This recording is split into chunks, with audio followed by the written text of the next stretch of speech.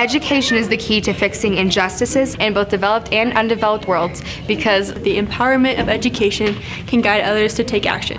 It should be our obligation to educate both ourselves and others to fix the issues happening around the globe. After reading The Kite Runner, our English class was inspired to create something that educates, inspires, and analyzes both the novel and displays the real world issues happening at this very moment. Sounds like a big task, doesn't it? In order to put our ideas into action, we began splitting into four different groups documentary, art, organization, and publicity. With such a big group, we were able to show our progress in a few different ways the mural itself, a website highlighting individual video blogs, and this documentary. Before we began, we asked individuals initial questions about their thoughts on this type of final project and their hopes for it. Well, I wanted to combine some of the projects that I normally would do in class into something that would be more meaningful for you all and something that you would actually remember, maybe beyond this school year. Uh, also something that you could collaborate on and bring the whole class together to work on the same project together. Something that might be more authentic that an audience outside of just me or just our small classroom could see. And bring all of your skills together. So these documentarians, we've got artists working, we've got just different groups that have different strengths and kind of use all those strengths to create this project. I thought it would be a big, big task to undertake, honestly, with about 30 people. And since we decided to double the square feet that we're going to do since we're making a square, it's going to be a big undertaking, basically. But I was really excited to do this project because I thought it was a good chance to kind of use everyone's like input on the kite runner and just in the world in general about Afghanistan and like our involvement in it and use it as a way of representing our theme and like our view upon the book. Uh, what I want, I just want something that will basically sum up like how we feel and what we, uh, and our main message in one coherent picture, basically. While reading The Kite Runner in class, we individually created themes and ethical claims based on our motif tracking and personal reflections. We held in class discussions and brought in multiple outside resources in order to connect the book to current happenings in Afghanistan. Slowly, we began to collaboratively create a class theme claim, and call to action to base our mural off of, and everything started to come together slowly. So, um, I've been working with the art crew, so so far we've desi designed out the mural, we gridded it out, then we transferred it onto a 8 by 8 sheet of paper, which was a big task to do, and we had to draw everything out up to proportion and to scale. Then we had to cut everything out, assign people their squares, and give them off to them. So basically, that's basically what I've been doing. And can you explain the concept of our mural a little bit? Yeah, sure. So our mural is a pomegranate tree, which was like a central motif in the kite runner. And we're having one side of it be Kabul before it was destroyed and bombed and the whole undertaking with the Taliban. And then afterwards, it's after, so it's all rubble and there's poppies to signify the opium trade. The mural mirrors our process of combining ideas and perspectives together. Everyone has to offer their own individual artistic contributions, but it all comes together into one picture. I'm with publicity. And what do you do for the publicity crew? Um, right now, Karen and I are in charge of gathering interviews and information about what's happening and like dates and times and everything that's going on to help our friend write an article so it's not cannibalism.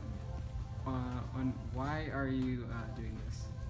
Um, I'm doing this because it's important to raise awareness about what we're doing because we need a purpose for what we're doing for it to count as our final. Uh, so as uh, I'm in the organization and collaboration group, so for the mural entirely, we've been planning the unveiling. We've been making sure that all the groups are doing, uh, getting along and uh, getting their stuff done. And then individually, I've currently been working on my individual part for the motif, and I think it's going really well. Uh, we're painting our, our squares for our mural and we're just going by this color scheme we have and incorporating our whatever contribution we had. Uh, right now we're just painting the rough draft for our mural, but we're slowly incorporating things about world issues and affairs that we could try and help make others, like not just at the school, but other people in the community to uh, help realize and not make them oblivious to these issues. I'm working on my individual mural piece and it's like a cloud that's going to be like gray and then with the sky around it but it's going to be pretty dark and I have the quote for you a thousand times over on it to signify Amir and Hassan's relationship but also like America and Afghanistan kind of tying into that because we're like oh Afghanistan we're going to help you but we're not really helping them so it's kind of like this whole revolving circle of help and stuff and yeah. With our own individual pieces completed, we then started assembling the mural. I think this is a project that I had some, I had a lot of ideas for, but I don't, I didn't have all the ideas. I've never tried this before. To have a class collaborate on a single project of this magnitude is, it's different than what I've done in the past. And so it's developing as we go. We change our due dates, we change what we need from each other, and that, that's fine with me. I think our project can handle that. We're working to solve the problems. We come into class and say, what do we need to figure out today? And we figure it out.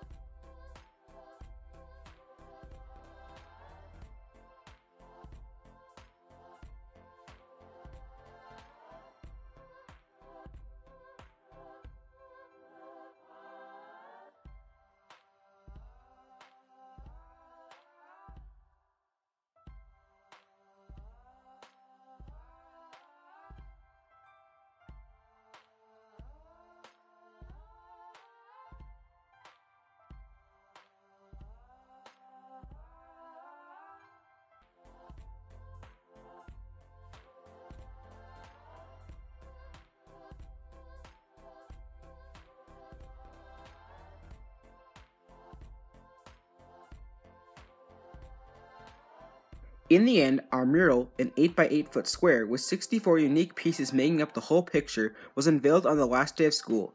Celebrating the traditional Afghani food, the class admired their work and reflected on the project. We gained experiences we would have never gotten with a typical final essay, from composing original music to attaching phones on walls for time lapses, showing the best material to work on, wood versus paper. We also gained what the whole project was focused on education. We learned about the injustices other people and countries face, but not through a test or a lecture. We gained empathy by reading stories, listening to music, looking at pictures, and walking a mile in another's shoes. We'd like to thank Mr. Hanauer for this unique experience and allowing us to open our eyes to the world around us. What are you?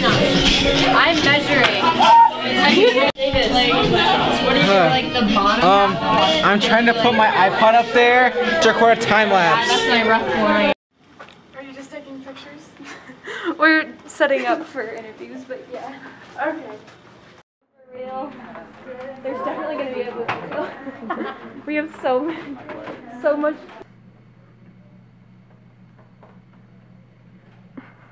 How has the process